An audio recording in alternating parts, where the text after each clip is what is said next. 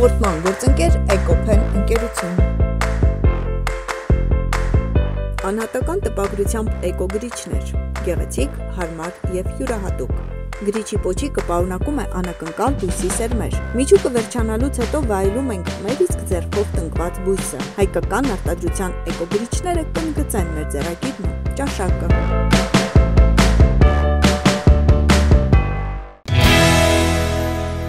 Բարև ձեզ, սիրելի ասակակիցներ։ Ողջույն, դասամիջոցն է 21 TV եթերում։ Այսօր խոսելու ենք ընթերցանության մասին։ Ընթերցանության անփոխարինելի դերի ու կարևորության մասին։ Բայց մինչ այդ հիշում ենք մեր հավատարիմ գործընկերոջը։ Էկոփեն գրիչներով գրելը հարմար է, հաճելի ու գեղեցիկ։ Մանավանդ, որ գրիչի պոչիկին որևէ բույսի սերմ է։ Եվ թանակն ավարտելուց հետո այն աճում է ծաղկամանում։ Դե ինչ, համատեղեք օգտակարն ու հաճելին։ Երբևէ մտածել եք, թե ինչ առավելություններ եք ստանում կարդալիս։ Մենք բոլորս էլ տեսնում ենք անհրաժեշտությունը ընթերցանության։ Եվ հազարավոր պատճառներ գրքից փախչելու։ Ընթերցանությունը շատ առավելություններ ունի, որը նաև հմտություն է, որը չեն օգտագործում շատ մեծահասակներ։ Յուրաքանչյուր գիրք մեզ հնարավորություն է տալիս սովորելու բացահայտել նոր հորիզոններ։ Գրքեր կարդալը մեծացնում է մեր գիտելիքները եւ մեզ դարձնում է ավելի խելացի։ Մենք իհարկե հասկանում ու գիտակցում ենք այս ամենը եւ հասկանալով հանդերձ փակում ենք գիրքը ու վերցնում հեռախոսը։ Ինչու՞, ինչ պետք է անենք գրքի հետ բարեկամանալու համար։ Փորձենք զրուցել մասնագետների եւ իհարկե մեր հասակակիցների հետ։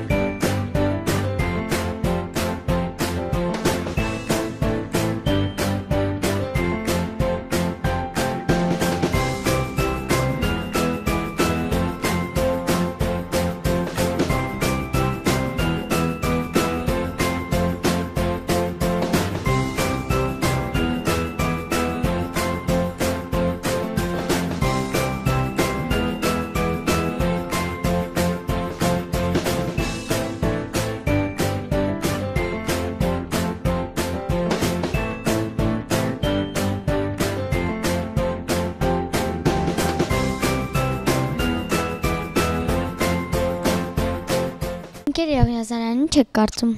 Կարդալու հետ սերը մանկուց պետք է երեխաների մեջ սերմանել։ Իհարկե, ես կարծում եմ, որ ընթերցանության հանդեպ սերը դեռևս պետք է սերմանել նախադպրոցական տարիքից, երբ որ երեխաները լսում են շատ հեքիաթներ, պետք է կարևորվի այդ հեքիաթներում տրվող արժե համակարգն ու ընթերցանության կարևորությունը։ Սիրում ես կարդալ։ Այո, Ինչ գիրք ես կարդում։ Հովանես Թումանյանի գիրքը։ Հեքիաթներ ես սիրում։ Այո, Բարևանոտ ինչ է։ Բարև ձեզ, Միլենա, Քանի տարեկան եք։ 14։ Ինչ գրքեր եք նախընտրում։ Պատմական, նաև սիրում եմ դրամաներ, ֆանտաստիկայի ժանրի գրքերն եմ շատ սիրում։ Տարբեր։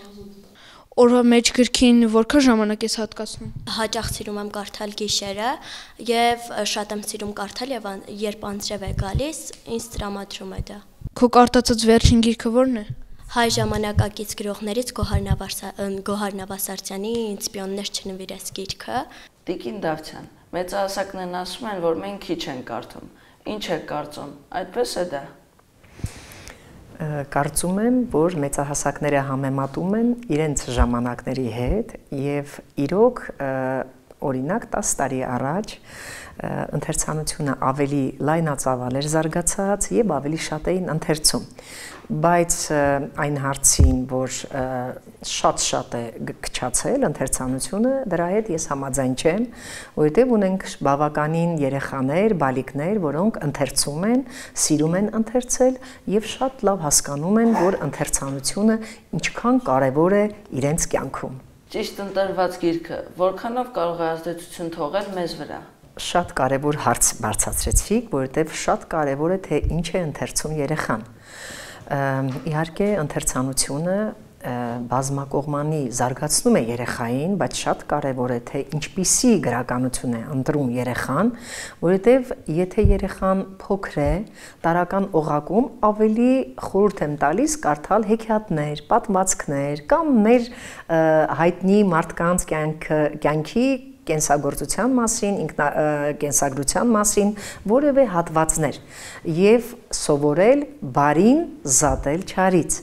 Իսկ եթե երեխան արդեն երկրորդ կրթության երկրորդ աստիճանում է, այդտեղ արդեն փոխվում են, փոխվում են նաև գրքերը։ Եվ տարբեր աստիճաններում կրթության գրքերը ունեն տարբեր նպատակներ ու տալիս են տարբեր արդյունքներ։ Իսկ ինչ եք կարծում, ինչ պետք է անենք գրքի հետ բարեկամանալու համար։ Ինչպես ասում են, գրքերը մեր բարեկամն են, բարեկամներն են եւ այո, շատ կարեւոր է այն ճանապարհը, որը տանում է բարեկամության գրքերի հետ։ Պետք է ընդհանրապես ընթերցել։ Երբ ընթերցում ես եւ մտնում ես գրքերի աշխարհը, այլևս հետադարձ ճանապարհ չկա։ Ավելի շատ որ գիրքն ես նախընտրում։ Նախընտրում եմ ֆանտաստիկա ժանրի գրքերը։ Այսին կարդացած ես գիրքը Վարդգես Պետրոսյանի Ապրած եւ չապրած տարիներ գիրքն է։ Ինչքան ես օրվա մեջ ժամանակը հատկացնում գրքին։ Կախված է օրից, տրամադրությունից, դասերի քանակից կամ պարապմունքներից։ Քո կարծիքով մեզ ընթերցանությունը ինչքանով է պետք։ Ինձ թվում է ընթերցանությունը բոլորին էլ պետք է, քանի որ բոլորս էլ պետք է ընդլայնենք մեր մտահորիզոնը։ Մենք հաճախ փակում ենք գիրքը եւ վերցնում ենք հեռախոսը։ Հեռախոսը կարող է փոխարինել գրքին։ Ցավոք 21-րդ դարում շատ կարևոր դարձյալ հարց եք բարձրացնում, որովհետև բոլորը չէ որ հասկանում են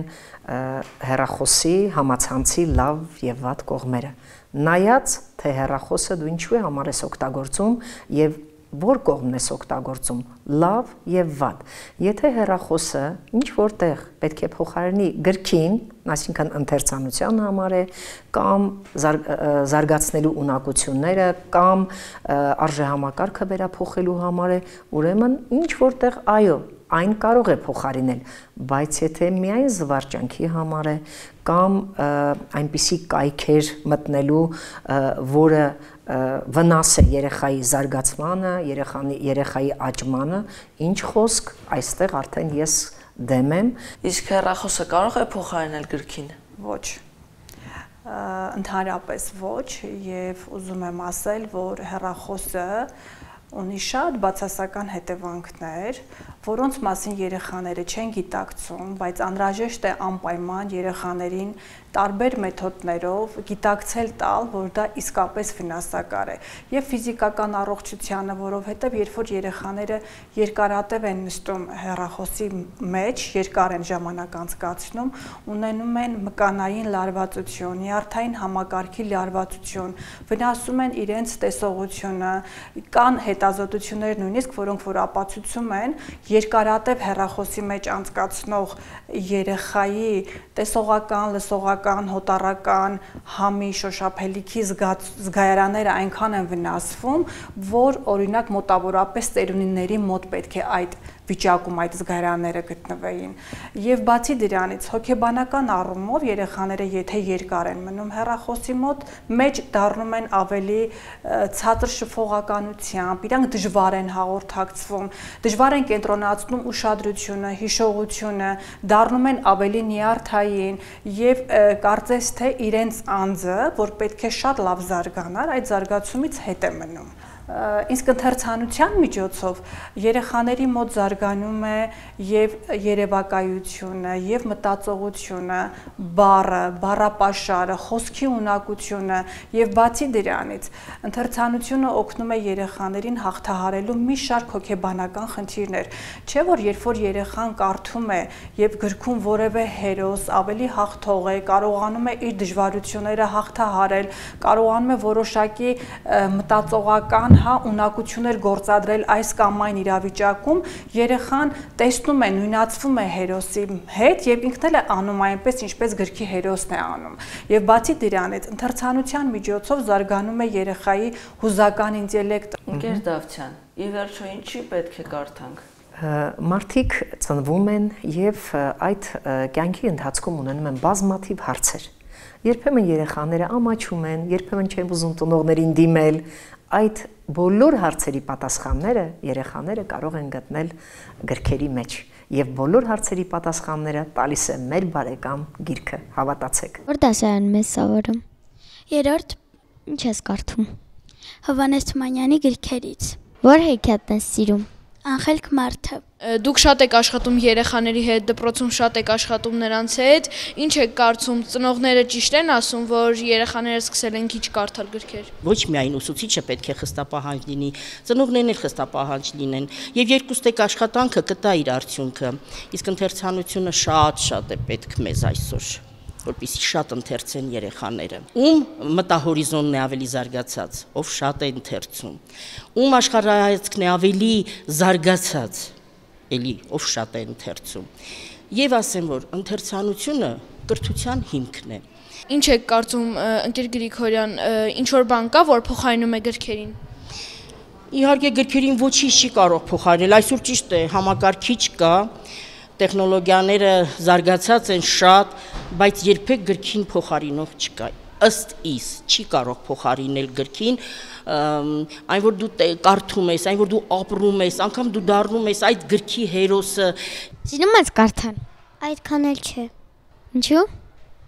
Ժամանակս քիչ է, ավելի շատ մաթեմ եմ անում։ Ընթերցանությունը քեզ ինչ է տալիս։ Ընթերցանությամբ պետք է զբաղվեն բոլորը, իսկ ինձ ընթերցանությունը տալիս է այն, ինչ որ ես ակնկալում եմ, լայնացնում է իմ մտահորիզոնը, բարձրացնում իմ գիրք ընտրելու ճաշակը։ Օրվա մեջ որքան ժամանակ ես հատկացնում կարդալու։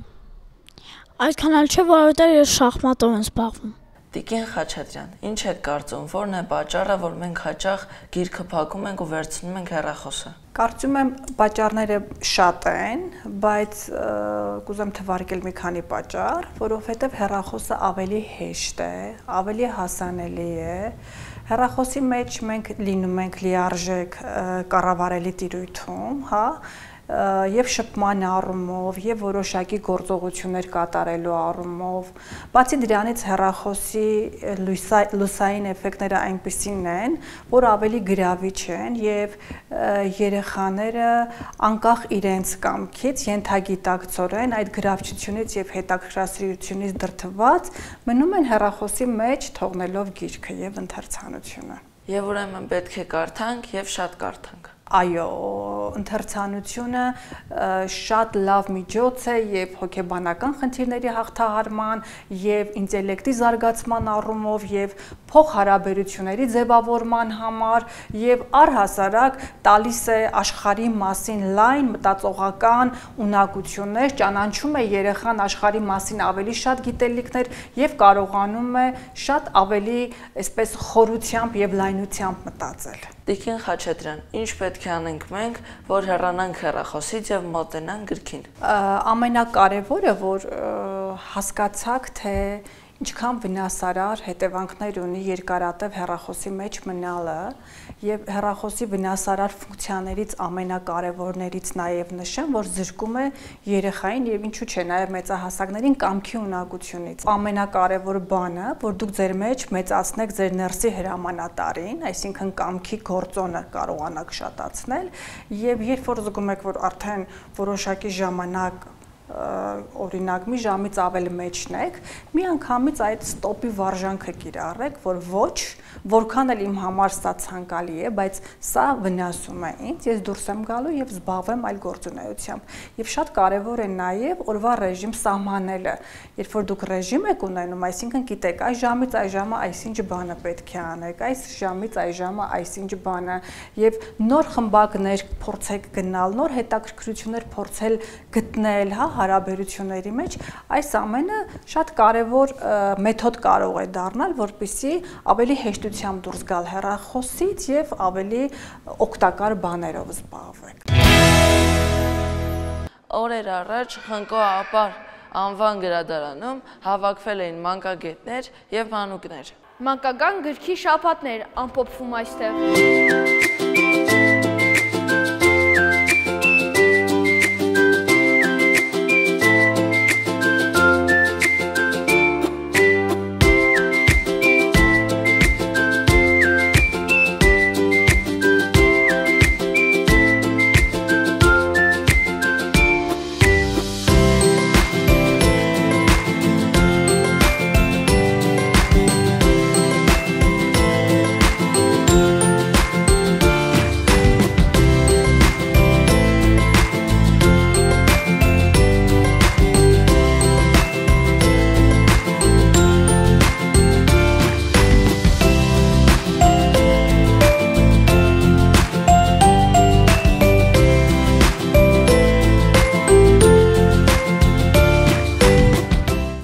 տարի մանկական գրքի շաբաթ ենք կազմակերպում դպրոցների, Խնկոապոր գրադարանի հետ, գրողների միությունը մշտապես արդեն նոր ֆիլմ էին ցույց տալիս 80 տարի կարելի ասել այդ գործը անում ենք եւ որոշել ենք որ մի տարի սկսենք գյուղում մանկական գրքի շաբաթը եւ մենք այս տարի սկսեցինք Գեղարքունիքի Լճաշեն գյուղի դպրոցում, ապա փակում ենք Խնկոապոր գրադարանում։ Իհարկե այդ ընթացքում նաև տարբեր գրադարաններում մեր մեծ գրողների տուն թանգարաններում, դպրոցներում լինում են հանդիպումներ գրողների հետ։ Գեր Բաբան, իսկ ինչ է կարծում երեխաները հեռանում են գրքից։ Ակնհայտ փաստ է, այո, այսօր այդ ցավալին այն է, որ երեխաները հեռանում են գրքից, շատ նորից եմ կրկնում, որ ցավալի է, ինչը ունի իր օբյեկտիվ եւ սուբյեկտիվ պատճառները եւ այստեղ դպրոցը ծնողը ընտանիքը ունի իր կարևոր մեծ առաքելությունը այդ բացը լրացնելու, շտկելու բոլոր հնարավոր միջոցներով, բայց այն, որ մենք այսօր այստեղ ենք, այն, որ այսօր մենք մասնակցում ենք, մենք ընթերցում ենք, կարդում ենք դպրոցում խմբերով հեքիաթներ, գրքեր, նայած նախասիրությունների երեխաների, փաստում է այն, որ մենք մոտենում ենք գրքին ոչ շատ ոչ թե հեռանում այո այսօր մենք մեծ գործ ունենք անելու երեխաներին դեպի ընթերցանություն դեմքով շրջելու Պարոն Միլիտոնյան, նմանատիպ միջոցառումները ինչ նպատակ ունեն եւ ինչքանով են անհրաժեշտ իմ հասակակիցներին։ Ձեր հասակակիցները նախ հենց իրենք կիմանան որքանով է դա անհրաժեշտ, բայց ես կարծում եմ, որ լավ կլինի այս գրադարանում դուք փնտրեք գտնեք ձեր պատանեկան տարիքին համապատասխան գրականություն եւ ընթերցեք ու ճանաչեք թե աշխարհի դասական ու ժամանակից գրողները ինչ են գրում ձեր տարիքի տղաների համար։ Որ դպրոցից ես եկել այստեղ։ 181։ Իսկ ինչի համար ես եկել գրադարան։ Եկել եմ որ գրքեր կարդամ ու նոր բաներ իմանամ։ Քո կարդացած վեր, վերջի գիրքը ո՞րն է։ Վիշապը։ Որոշել ես ինչ ես դառնալու։ Այո, ֆուտբոլիստ։ Իսկ քո կարծիքով ֆուտբոլիստ դառնալու համար պետք է գրքել կարդալ։ Այո, իհարկե, ամեն ինչ համար պետք է գրքել կարդալ։ Մենք շնորհակալ ենք, որ ստեղծագործում եք իմ հասակակիցների համար, իսկ ձեր ստեղծագործությունները ինչպես են ծնվում։ Դժվար է բացատրել, թե ինչպես են ծնվում։ Եվ ասեմ ձեզ, որ ամեն գրող իր խոհանոցը ունի ստեղծագործելու։ Իսկ ես տեսա, որ ես նմանվում եմ ամոթ է ասել գլուխ գովել Անդերսենին։ Անդերսենը քայլում էր, տեսնում էր ջրի միջով հոսում է անագետ ջարդված մի զինվորիկի արձանիկ եւ դրա վրա ստեղծում է անագե զինվորիկը հրաշալի հեքիաթը կամ տեսնում է վառվող ինչ-որ արձանիկ պարուհի, դա պարուհու հեքիաթներ իմ հետ դա այդպես է կատարում։ Ես մեր սենյակում ինչ որ մի բան որ տեսնում եմ, իմ մեջ ստեղծագործական ինչ որ բան է լինում այ հենց հիմա գրել եմ դղյակը, դղյակի գախտիկը, հեքիաթը, չգիտեմ ո՞ց ստեղծվեց, ճիշտ ասած մեր տան ձայնարկիչը փչացել էր եւ իմ մեջ ինչ-որ սստանակ պատմություն ստեղծեցի, թե ինչպես մի այսպես ասած շատ հարուստ օլիգարխ, բայց հին թվերի ժամանակին ստեղծել է մի դղյակ եւ որոշել է որ աշխարհի ամենագեղեցիկ նկարները, արվեստի գործերը հավաքի բերի այդ դղյակը լցնի եւ այդ դղյակում անեն հրաշալի համերգներ ասենք հնչի Բախ, Բեթհովեն, ինչպես նաեւ ջութակ եւ այլն եւ այլն եւ մեծ սեղաններ է փռել համով ուտելիքներով եւ բոլոր հյուրերին վերջում հravirել է մի սրահ որտեղ դրված էր երկեհոնը երկեհոնը ինձ այնպես է հետաքրքրում երեխաներ բարձում է 1500 փող կա լավագույն երկեհոններում ամենակիչը 600-400 փող պիտի լինի եւ այդ բոլոր փողերը տարբեր են հնչում եւ կենտրոնանում են այդ թվում է դաշնամուր է բայց դա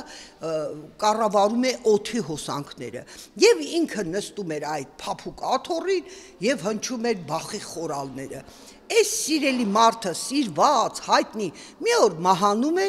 եւ քանի տարի հետո իր տիկինը որոշում է հիշատակի երեկո անել։ Հրավիրում է հյուրերի, հրավիրում է երկեհոնահարի եւ ասում է՝ «Խնդրում եմ նվագիր հյուրերը լսեն»։ Երկեհոն հանրը նստում է եւ ինչ, դուք ոչ մեկը գլխի չեք ընկնի ինչ։ Պարզվում է որ դա դեկորացիա է։ Այդտեղ գործիք չկա եւ գախնի սենյակում դրված էր ձայնարկիչը, որը մատը կնոպկես սխում է, սկսում է հնչել երաժշտություն։ Այսինքն ինքը չէր կարող երկեոնց նվագել սուր դա ծանր արվեստ է։ Ինքը տնտեսվարող բիզնեսմեն էր, ուղղակի իրեն այսպես ասած սրտին դուր էր գալի, փառասեր էր որ ձեզ ասեմ բոլոր ստեղծագործողները ունեն այդ հատկանիշը, բայց դա բաց չէ։ Եթե ես չեմ կարծեի, որ իմ գործերը ընթերցվելու է երեխաների կողմից մեծերի, որտեվ իմ հեքիաթները բոլորին են ուղված, ինչպես նաև Էգզյուպերիի հեքիաթները, Էդվարդ Միլիտոնյանի հեքիաթները փոքր մեծ կարդում են։ Իսկ ինչ եք կարծում, ճիշտ է, որ երեխաները հեռանում են գրքից։ Երեխաները ոչ միայն գրքից են հեռանում, այլև հեռանում են խաղերից, մանկական փողոցի կամ պարապմունքներ կային մարզական, հիմնականում հերախոսների մեջ են մտել երեխեքը,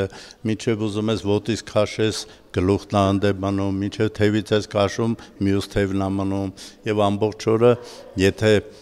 հետևենք մեր երեխեքը շատ փոքր տարիքից միջև ավակ իրենք հերախոսից դուրս չեն գալի եթե նրանք հերախոսում կարողանային կարդալ նաև լավ գրքեր կամ պատմվածքներ, բանաստեղծություններ, ես լավ կասեի, լավ է, այդ ձևով էր կարելի է ընթերցել, բայց հիմնականում խաղեր կան, նրանք ընկած են այդ խաղերի մեջ բնականաբար հեռացել են գրքից։ Ինչ է կարծում համացանցը փոխարինում է գրքին։ Համացանցը այստեղ կարող ենք ասել ինչ որ չափով կարողանում է փոխարինել գրքին տեղեկատվություն հավաքելու առումով, բայց այն ինչ տալիս է գիրքը, կենթանի գիրքը ընթերցելիս երեխային համացանցը չի կարող տալ։ Համացանցը չի կարող ամբողջությամբ ներկայացնել այն, ինչ տալիս է մեր գիրքը եւ գրքի հետ վերաբերվելու, վարվելու, գիրքը թերթելու, գիրքի գիրքը ընթերցելու այդ այդ վայելքը միայն գիրքը կարող է տալ։ Ոչ, միանշանակ ոչ անհրաժեշտ է, կարևոր է, այսօր այսօրվա հրամայականն է համացանցը օգտագործելը, բայց այն չի կարող միանգամայն փոխարինել ամբողջությամբ գրքին։ Անունդ ինչ է։ Գևորգ։ Որ դասանում ես սովորում։ 4-րդ։ Հաճախ ես այցելում գրադարան։ Հա։ Ինչ գրքեր ես սիրում կարդալ։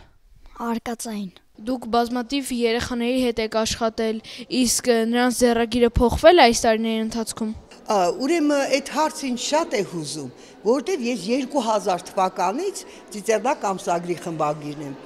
Եվ գիտեք ձեզ ասեմ, որ կապ չունի, անգամ խորթային տարիներին այն ժամանակ Էդվարդ Միլիտոնյանն էր խմբագիրը։ Եվ դրանց առաջ Ժաննան Մադոյան, Անահիտ Սայնյանը լավ խմբագիրներ են եղել։ Եվ միշտ եթե նայում եք քին համարները, ես շնորհակալ եմ ազգ, այս մեր մանկական ազգային գրադարանին, որ կազմել է մատան, մատենագիտությունը մեր ամսագրի։ Եվ երբ որ նայում եք քին համարները, տեսնում եք, որ մեր երեխաները չեն փոխվել։ Նույն վարվռուն նկարները, ահա տեսեք այստեղ ամբողջ պատերին երեխաների ստեղծագործություն է։ Հայ երեխաների նկարչությունը կրում է իր մեջ մեր վառ արևի գույները, պայծառ գույները մեր հայ բնաշխարի մրգերը որ նայում եք այնպես գեղեցիկ են նկարում ուղղակի հետո մոռանում են որ իրենք նկարել գիտեն ու նկարիչ չեն դառնում մեր երեխաների ստեղծագործության ջիղը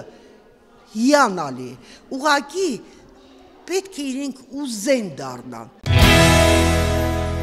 Դե ինչ կարդում ենք, շատ ենք կարդում եւ նվազեցնում ենք հերախոսից կախվածությունը։ Մենք գիտակցում ենք, որ գիտելիքը, կրթությունը անփոխարինելի զենք է։ Իսկ մենք պետք է միշտ զինված լինենք։ Կհանդիպենք 21 TV եթերում դասամիջոցին։